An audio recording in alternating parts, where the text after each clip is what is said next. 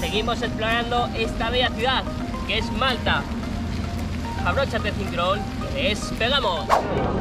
Hemos encontrado un café, una cafetería que es espectacular, o sea, eh, increíble. Ahora os voy a enseñar lo que nos hemos pedido. Hemos pedido un desayuno inglés, un café con leche con sabor a, a vainilla y un zumito de naranja y un cappuccino. Es impresionante, además está a reventar todo, todo está a reventar, o sea, es muy difícil encontrar un sitio libre eh, a cualquier hora, a cualquier hora. Pues este es el café con sabor a vainilla, el zumito, con una rodajita de naranja. Sorry?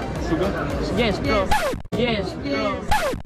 Bueno, pues aquí tenemos el café con sabor a vainilla. La verdad es que otras veces me lo han puesto con un vaso más alto, pero bueno, está bien. El zumito de naranja que viene con una rodajita de naranja y el cappuccino. Y estamos a la espera de que nos traigan el, el desayuno inglés porque hay hambre. Ah, y lo mejor de todo son estas galletitas. Estas galletitas son de vainilla, pero están tremendas. Les voy a decir que me den un saco para llevármelas a Madrid porque es que, es que, mañana, me he enamorado, me he enamorado. Y nos acaban de traer el desayuno inglés, que también incluía hash brown y judías, pero que la verdad que no nos apetecía esas dos cosillas. Así que le hemos dicho que no, que muchas gracias. Hemos conseguido comérnoslo todo. Uf. La verdad es que no sé cómo los ingleses tienen estómago para comerse todo eso. Y mira que no nos hemos comido ni, ni las judías ni, ni la otra cosa que llevaba, que ahora mismo no me acuerdo. Pero wow. Gordura, ven a mí. Y después de tomarnos nuestro gran cafecito, nuestro desayuno inglés potente, potente para coger fuerzas, pues vamos a seguir investigando la capital de Malta. Uy, que no se me ve. Vamos a seguir investigando la capital de Malta. Y esta noche tenemos un tour en un autobús en el que nos van a enseñar todos los monumentos de noche y sus, sus decoraciones. Así que bueno, estamos en una calle muy estrechita. Muy bonito. Es que todo esto es muy, no sé cómo decirlo, muy, muy antiguo, muy, muy flipante todo. Mirad que nos acabamos de encontrar una tienda, mm, es como navideña. Mira, mira, mira, mira, mira, mira, mira. Qué heavy. Todos con lucecitas, son no son bebés, pero sí está todo eh, basado en Navidad. Wow. Ahí tenemos a Papá Noel, o también conocido como Santa Claus. Wow. Tenemos a Papá Noel que va en helicóptero. Seguimos encontrando lugares secretos en Malta. Estamos en la capital, La Valeta, y eh, estamos como dentro de las murallas.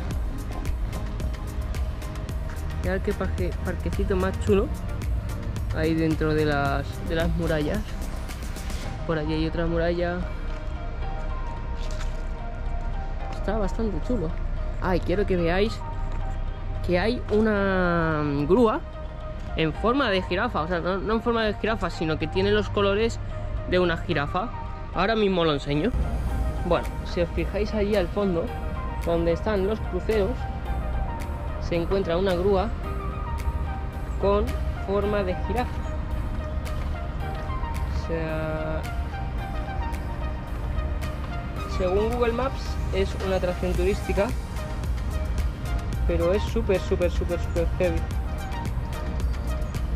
O sea, es impresionante porque en, el vídeo no se aprecia bien, pero eh, tiene los colores del cuello de la jirafa y la parte que baja hacia abajo eh, tiene los colores del cuerpo del tronco de la jirafa.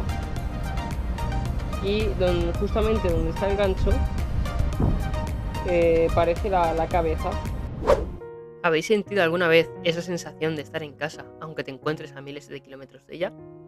Así es como nos sentíamos nosotros en Malta. Nos sentíamos como si estuviésemos en nuestro hogar. Pero cuando más cómodo te sientes es cuando todo llega a su fin. Y llega la hora de marcharse a casa. Pero no sin antes aprovechar la última noche en esta bella ciudad. Y acabar por todo lo alto esta aventura. Y bien amigos, por fin es por la noche. Sí, Isma, sí, por fin es por la noche.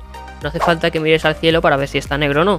Venga, anda, seguimos con el vídeo. Después de que esta tarde hiciese un poquillo de tormenta, ahora nos vamos a cenar porque aquí cenan muy pronto, la verdad. Son las 17.41 de la tarde y ya es completamente de noche. Y después de cenar, eh, nos vamos al tour que dura 4 horitas. Es un tour nocturno y vamos a ver qué tal está. Pero claro, ni todo siempre sale bien, ni todo es tan bonito como aparecen en los vídeos. Así que, ¿qué nos iba a pasar? Que nos iban a dar una mala noticia mientras estábamos cenando. Os dejo aquí la explicación. Bueno chicos, tengo malas noticias y es que nos acaban de cancelar el tour a 20 minutos de, ir a hacerlo. O sea, eh, no sabemos el por qué, no nos han dado más más información. Creemos que es porque es posible que en alguna de las zonas vaya a llover o porque mm, no haya suficiente gente como para que les sea rentable. Entonces nos han cancelado el tour, nos han dado opción a reembolsarnos el dinero o a mm, cambiarlo por otro día, pero no podemos eh, cambiarlo a otro día porque nosotros nos vamos ya mañana. Por desgracia, dejamos esta gran ciudad aquí que tendremos que volver a explorarla con más detenimiento. Malta y sus pequeños secretos. Nos acabamos de topar con una piscina encima del mar, pero no es que sea una piscina, es que es una piscina la que utilizan para eh, utilizar a waterpolo. Y bueno, luego también tenemos ahí una pedazo de iglesia. Es impresionante, impresionante. I've been in Madrid. Yes? Yeah, Paseo del Flago. Oh, this is Me the gusta, center. me gusta, me Thi- This is the center. Let's make you a strong cocktail. Hello, here from Madrid. I am here from Slima. I'm going to make you some mucha forte cocktails. For my friends from Madrid, I'm here, Mr. Cocktail.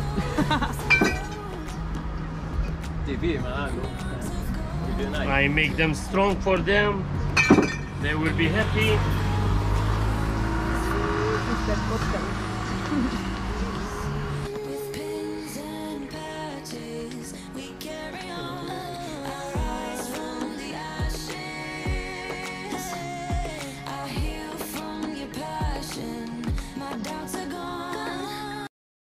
Amigos, aquí se acabó nuestra aventura por Malta. Una lástima, bonita ciudad, bonito sitio. Nos han tratado súper bien, a pesar de que no nos hemos enterado de lo que nos decían, porque no tenemos ni idea de inglés.